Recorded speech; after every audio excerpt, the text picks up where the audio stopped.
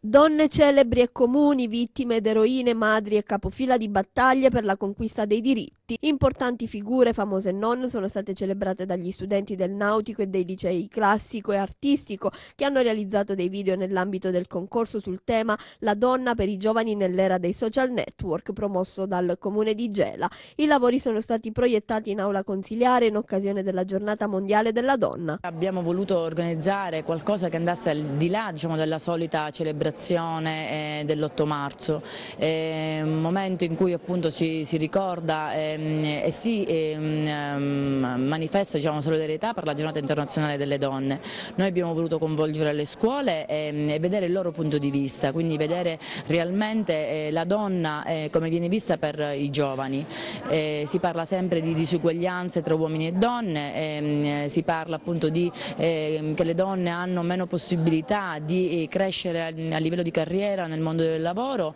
eh, quando invece tutti i dati statistici e le varie ricerche ci dicono poi che le donne ehm, sono quelle invece che hanno più meriti, eh, hanno più titoli ehm, e in realtà hanno maggiori capacità. In questo video abbiamo voluto raccontare una storia, abbiamo voluto scegliere eh, qualcosa che fosse diverso da un solito giorno in cui eh, auguriamo il meglio a queste donne che hanno subito tanto nella loro vita, ma eh, più che altro ehm, noi con questo video non ci sentiamo tanto di dire auguri alle donne oggi, ma ci sentiamo di dire condoglianze alle donne, perché ehm, penso che francamente oggi sia superficiale dover augurare cosa poi alle donne. Io penso che in questo giorno noi dovremmo ricordare quello che le donne hanno subito, ricordare quelle donne che sono state e che hanno fatto tanto. Noi abbiamo voluto portare un messaggio diverso dal solito, che non è quello della solo commemorazione della donna e della sua figura. Noi abbiamo voluto portare un messaggio innovativo attraverso la storia dei costumi e della loro evoluzione. Infatti questo progetto nasce sia